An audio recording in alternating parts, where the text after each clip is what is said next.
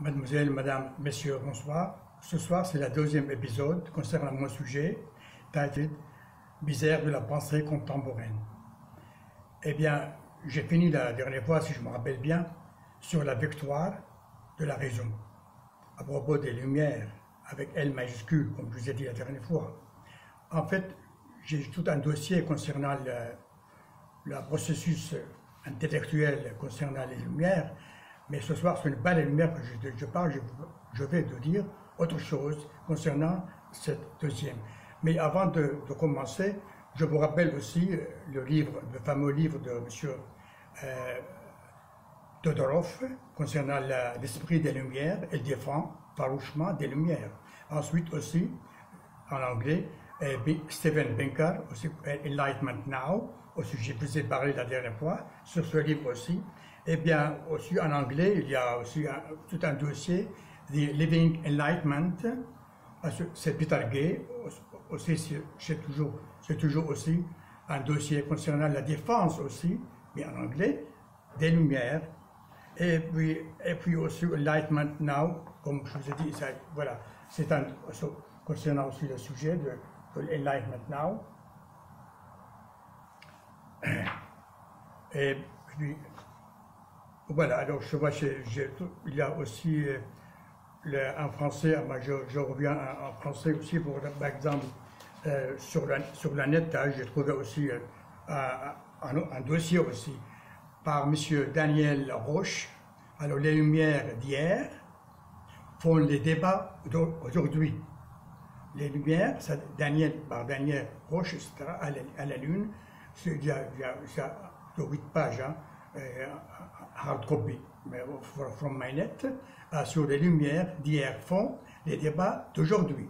Alors c'est tout un dossier aussi, concernant aussi, c'est ma référence. Hein. C'est surtout, c'est pour rappel, c'est pour, les, intérêts, les intérêts des, de siècles de lumière dès maintenant, enfin, dès maintenant aussi, je, je, pars toujours des lumières. Aussi, à ce jour, on s'intéresse toujours aux lumières. Bien, alors ce soir, c'est, je veux parler des aspects de la mort de la pensée. J'ai un certain aspect, je vous parler de comment, comment dirais-je, des aspects aussi. Par exemple, premièrement, les points de départ avec le nihilisme, le grand philosophe Nietzsche, Friedrich Nietzsche, aussi, je vais parler tout à l'heure aussi. Et deuxièmement, c'est la mort de l'homme deuxième aspect. Et ensuite, je vais parler aussi sur la troisième, c'est aussi la chute de la culture, ou bien le déclin de la culture aussi. Voilà, nous avons trois aspects concernent, concernent de quoi? Concerne la mort de la pensée, qui fait partie de, mon, sujet, concernant la misère de la pensée contemporaine. Alors, qu'est-ce que c'est le nihilisme? C'est le premier, aspect. Qu'est-ce que le nihilisme Le nihilisme, ça vient du latin nihil, c'est-à-dire rien. Peut être compris comme un phénomène propre à l'époque moderne et souvent associé au relativisme.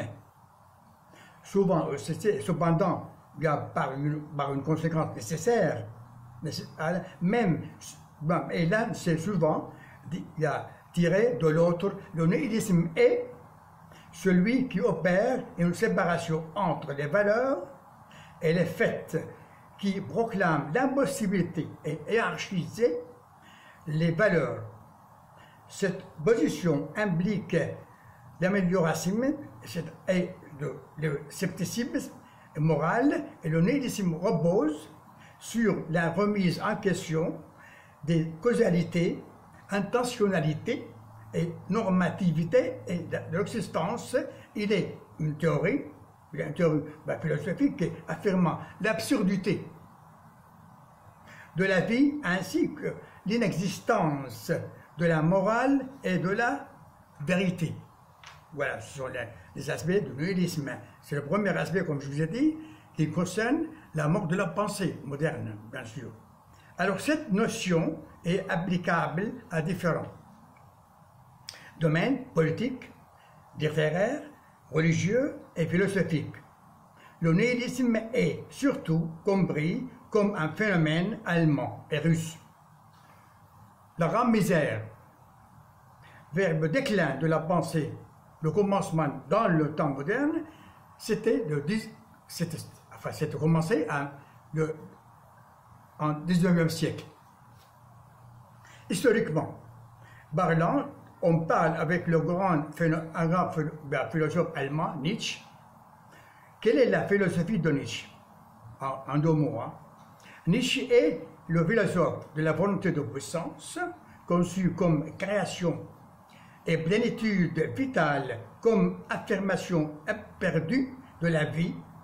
Ce qui, ce qui est essentiel, c'est notre monde en tant qu'il est le joie et volonté de puissance. Tenez en, tête la joie et volonté d'obéissance sont les deux, deux, majeurs thèmes de, la pensée de Nietzsche.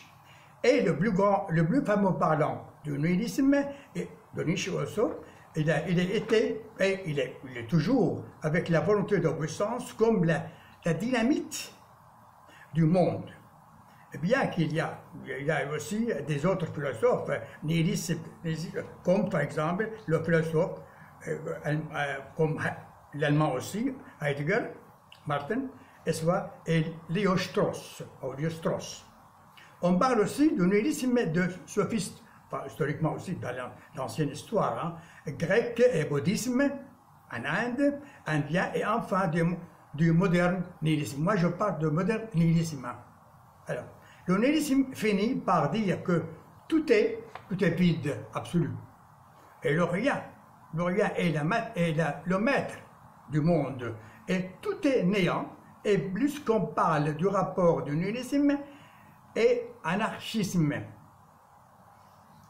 Ma référence, c'est toujours là, que de Wikipédia sur la, sur la net. Alors, la raison, essence des Lumières, est perdue dans le nihilisme. Alors, deuxième point, comme je disais, c'est le thème de, de, la mort de l'homme. Voilà, je finis par, en deux mots, qu'est-ce que c'est le nihilisme Le deuxième aspect, c'est la mort de l'homme. Qu'est-ce que c'est? Alors, Michel Foucault annonce la mort de l'homme en 1966. On croyait que l'homme était une idée très ancienne, depuis toujours au centre de la préoccupation. Quelques lignes provocantes osent soudain affirmé avec, chose, avec autre chose. Michel Foucault, en septembre, comme je dis, en 66, dans, le, dans les mots, dans son fameux livre Les mots et les choses, il attend là que l'homme libre et sartien, ça vient du mot Sartre, le philosophe français connu, alors invention récente datant du seuil du 19e siècle, il pourrait bientôt s'effacer. Alors, voilà. Alors, c'était ce publié, le, 24 6 2009. Ce qui est curieux, c'est que Foucault, en février 66, comme je disais, Foucault participe avec Gilles Deleuze et à la publication de l'édition française des œuvres complètes de, Nietzsche chez Gallimard. La, même année, il publie Les mots et les choses, ouvrage dans, le, dans lequel, faisant écho à Nietzsche, et à son concept de, de la mort de Dieu. Voilà, c'est une grande idée. Hein. On en parle toujours en français aussi, dans les milieux intellectuels. Le fameux, la fameuse idée de Nietzsche, c'est la mort de Dieu. Alors, il connaît immédiatement un immense succès, d'après la référence. Troisième, troisième point, c'est la mort de la culture. Eh bien, c'est c'est alors actuel, on parle de la mort de la culture je vais, je vais vous dire qu'est-ce que c'est. Ben, la honte de la culture que, que je parle ici, différente de l'ancienne expression, ou bien l'américaine expression, c'est quand c'est le culture. C'est différent, hein? Bien, on lit récemment, par exemple, un article dans le contrepoint sur le titre de la culture, c'est fini. C'était en décembre hein, de 2020. Alors, on finit avec la crise sanitaire, avec le corona, etc., et le Covid-19. Le secteur culturel n'était déjà pas grande forme. Quand restera-t-il une fois passé l'épidémie de Covid-19, il y a festival fini, annulé, salle de cinéma boudée, théâtre desserte ou fermé. Le terme de catastrophe n'est pas exagéré quand, on a, quand une activité tourne à 10, à 10 ou 9% à son niveau normal depuis plus de 10 mois. C'est-à-dire qu'on assiste, c'est pas grâce au corona, mais à cause de corona, je dis, comme euh, épidémie, etc., qui concerne le monde entier, alors c'est la mort de la culture. C'est-à-dire qu'on ne s'intéresse plus à la culture. Je signifie, je signifie spécialement par la mort de, la culture, en, tant qu'une valeur intellectuelle en faveur de la culture des foules, des, comment dirait, dépourvues de la rationalité, cette dernière a été encouragée politiquement par la gauche et l'extrême droite. Avec le populisme, hein, ou bien la culture des foules, la culture populaire, entre guillemets. Hein. Quatrième, l'image culturelle du monde, etc. Monde. Now, on va maintenant concernant aussi l'amour de la pensée, la misère de la pensée, aussi le livre, le fameux livre, je vous le dis, en 1985, Marcel Boucher publie Le Désenchantement du monde, un ouvrage qui marque profondément les sciences sociales, des religions et suscite un grand nombre de réactions. Un monde désenchanté revient, revient après 20 ans plus tard sur le principe aussi hein, de l'auteur en matière de religion. Cet ouvrage est un recueil de textes, articles et conférences qui ont en commun de naître des interrogations objectives et critiques soulevées à l'occasion de publication de Désenchantement du monde de Marcel Gauchy. Un monde désenchanté, c'est ma question, composé de trois parties principales regroupe des textes consacrés à une analyse approfondie des principales thèses de l'auteur et une relecture de désenchantement, du monde à l'une de la situation politique et dans un monde désenchanté, Marcel Boucher revient également sur la méthodologie mise en œuvre dans le désenchantement du monde et les articles qui le précèdent, réédités dans le descend, dans, le, la démocratie contre elle-même, pareil également, collection, etc., telle, 2002.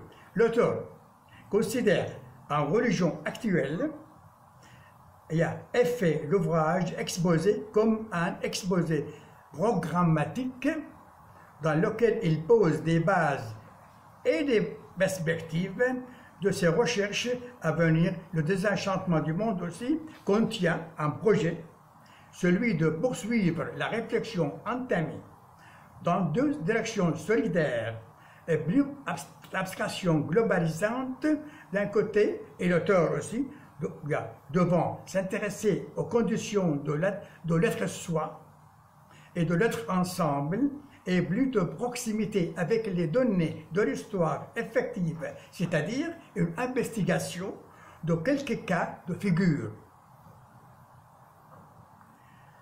Car l'œuvre de Marcel Gaucher ne se réduit pas aux réflexions sur la religion, à mon avis, c'est toujours le, thème principal, c'est toujours la religion.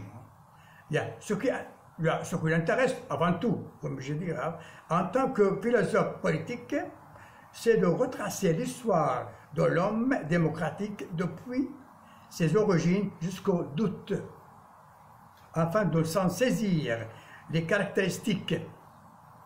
Cette recherche structure profondément son œuvre et explique l'omniprésence et de problématiques liées à la religion. Si l'on veut comprendre la modernité, il faut le réfléchir rigoureusement en fonction de la sortie de la religion. L'étude de la religion est, selon lui, nécessaire à la pensée de la, société, car lorsque se pose la question de vivre ensemble, force est de constater l'importance de sa fonction unificatrice.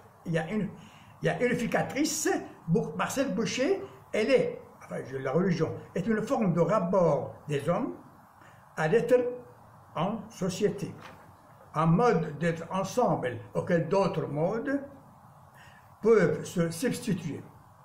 Si la religion n'est pas une condition nécessaire à l'existence de la société, c'est toutefois une, constante des sociétés humaines qu'il s'agit d'appréhender comme un phénomène historique défini par un commencement et une fin. La religion, constitue la forme du rejet de l'homme de sa propre brise transformatrice sur le monde. C'est pourquoi l'auteur l'a défini, la religion, grâce au concept de d'hétéronomie, il s'oppose ainsi aux philosophes du progrès de, de voie l'histoire de la religion comme un développement, un approfondissement de l'expérience divine depuis ses formes les plus confuses, la religion primitive par exemple, jusqu'à ses formes les plus rationnelles, monothéisme? Je ne sais pas comment M. Rocher parle de, du rationnel monothéisme, monothéisme des trois religions monothéistes ne sont pas rationnels. Ils consistent à la foi. C'est ça, par le cœur, par l'esprit, enfin, dans un certain sens. Mais ce pas, pas rationnel, ce n'est pas la rationalité. Après, après, on peut utiliser la foi, enfin, on peut justifier la foi par la méthode rationnelle. Mais les religions en, en même en soi-même, n'est pas rationnel, il consiste à la foi. Inverser la, perspective et lire l'histoire à l'œuvre, la religion, la plus complète se trouve ainsi au commencement, là où l'hétéronomie est maximale, tandis que les monothéismes y correspondent comparativement à moins de religions. Ainsi, si le monothéisme introduit un rapport nouveau entre l'homme et la divinité, le christianisme implique quant à lui une rupture entre le monde humain et le monde divin. Communion avec Dieu, l'incarnation du Christ et la Trinité constituent, à cet égard deux éléments essentiels.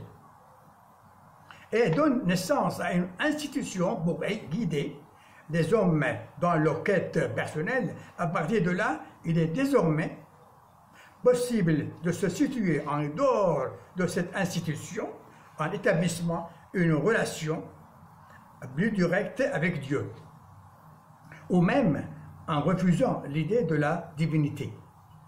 On passe ainsi d'un monde de l'hétéronomie à un monde de l'autonomie un monde dans lequel les hommes se donnent le rapport règle. Ma référence, c'est toujours le bulletin bibliographique, Marcel Gaucher, Un monde désenchanté. C'est un rapport. C'est pas moi. moi euh, c'est un article que j'ai tiré, si, c'est pour enrichir mon sujet à propos de la misère de, la pensée contemporaine que M. Gaucher a commencé l'histoire. En fait, ce que le refuse la religion.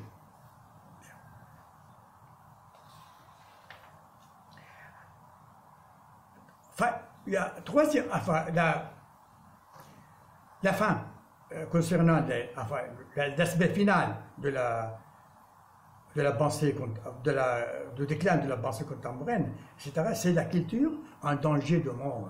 C'est un article aussi par Laurent Bedin, le 19 septembre 2020. C'est dans le point, a dans le quatre points aussi, je crois. Alors, c'est, intitulé l'article La culture en danger de mort. Par Laurent Baudin. Alors, il y a il y a, il y a, y a un extrait très long, hein, je ne suis pas, battant de, tout dire. Hein. N'était déjà pas grande forme quand restera-t-il une fois passé l'épidémie de Covid-19, festival annulé, salle de cinéma, boudé, etc. Ce que je vous ai dit tout à l'heure, c'est un signal de la, c'est le premier signal de la mort de la culture à notre époque, causée par l'épidémie qui a, touché, qui a touché tout le monde. Alors, je crois, je, je, je tiens aussi de mettre différence entre, entre ce qu'on dit en anglais, y a cancel culture, c'est pas, pas la même chose, hein, je crois. Cancel culture, c'est en fait, ça concerne le toxic culture. C'est un américain thème, hein, c'est différent, en fait. Voilà. Alors, je vous ai dit, dans le premier épisode, que les, les Lumières montrent la victoire de la raison. Mais il ne s'agit pas exactement à notre époque de suivre exactement la méthodologie rationnelle que les Lumières ont suivie. On peut changer la fonction de la raison. On compte toujours sur la raison, mais on change la fonction de la raison. À ce point-là, je finis aussi mon sujet ce soir, c'est la fonction de la... Quelle est la nouvelle fonction de la raison? Naturellement, notre ride le plus fréquent pour voir notre monde doit être raisonné et en essayant le plus possible de neutraliser nos passions, nos émotions, nos, passions, nos désirs et nos, nos, émotions folles. Euh, ce n'est pas un processus facile, mais la séparation entre émotion et, rationnel, ce n'est pas facile à faire, parce que nous, normalement, on juge toujours pas la raison, mais qui, consiste à certaines émotions ou à certaines passions derrière, en fait. Voilà. Ce n'est pas retenant. C'est maintenant de voir ou d'observer comment les gens utilisent maintenant les médias sociaux, les réseaux sociaux, etc. Nous sommes esclaves de la technologie, nous sommes des machines sans liberté, de penser la matière, la matière que nous avons en main, nous avons détruit notre esprit rationnel. Récemment, en, conversation avec M. Dan Sparer, parle de la nouvelle fonction de la raison. C'est le point que je m'intéresse toujours. C'est une nouvelle fonction de la raison. Alors, qu'est-ce que c'est? Alors, nous avons la nouvelle fonction, fonction de la raison dont nous avons, nous avons besoin de, dans la vie, dans la vie moderne c'est pour répondre à la révolution des nouvelles technologies, contrairement à la vision standard, de la raison en tant que capacité qui améliore l'individu dans ses capacités cognitives, l'image standard est celle de plus épais de Rodin, le fameux Rodin, l'artiste, le fameux Rodin, avec son statut, le penseur, comme, comme vous savez, penser par lui-même et découvrir de nouvelles idées. Que disons-nous maintenant?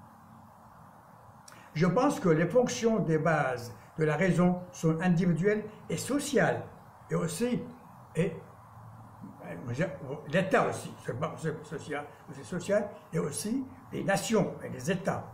Je, crois que, la que le but de pouvoir dont nous pouvons utiliser est notre raison, a-t-il dit, la question à titre général que j'ai vécu est de savoir comment allons-nous obtenir une meilleure pensée scientifique ou critique. Je mets l'accent sur le mot critique parce que nous avons besoin, à notre époque, de pratiquer la pensée critique, concernant, surtout concernant la nouvelle technologie qui est, en main. Par exemple, commençons par les, réseaux sociaux. On utilise la pensée critique distinguer le faux et le vrai. Et vous savez, le fake, ce qu'on dit en anglais, le, comprendre qu'est-ce que c'est le fake news? On fait la différence entre le vrai et le fake news qu'on voit partout dans les réseaux sociaux et les conneries, hein, comme vous savez. Inclus dans notre esprit, c'est-à-dire tout dans, dans cet article, les médias sociaux, utilisez votre raison pour produire un argument, pour vous convaincre vous-même et les autres, et établir une convergence d'objectifs ou des idées avec but de sens. Utiliser la raison dans le sens que nous avons, nous avons vu dans cet article, nous aide à devenir plus intelligents et plus ben, et créatifs. À découvrir aussi la vérité. Parce que vous savez, la vérité, c'est toujours l'objet principal de la philosophie. Mais toujours notre raison concernant, dans Cerber, comme vous disiez, dans son livre récent, l'énigme de la raison.